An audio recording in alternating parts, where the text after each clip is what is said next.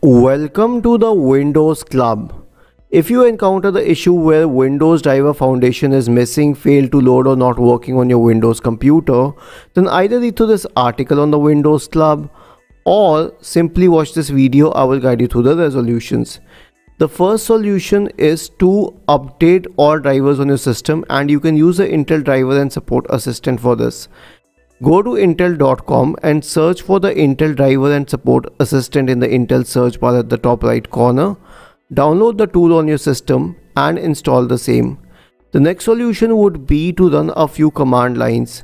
Search for command prompt in the Windows search bar and click on run as administrator in the right pane to open the elevated command prompt window. Then copy these two command lines and paste them in the elevated command prompt window and hit enter.